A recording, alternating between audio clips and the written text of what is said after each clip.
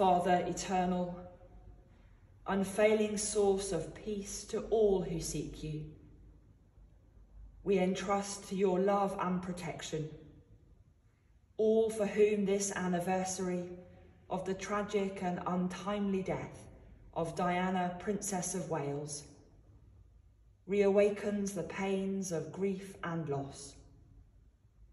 Comfort all who mourn, that casting all their cares upon you, they may be filled with your gifts of new life, of courage and of hope, through Jesus Christ, our Lord.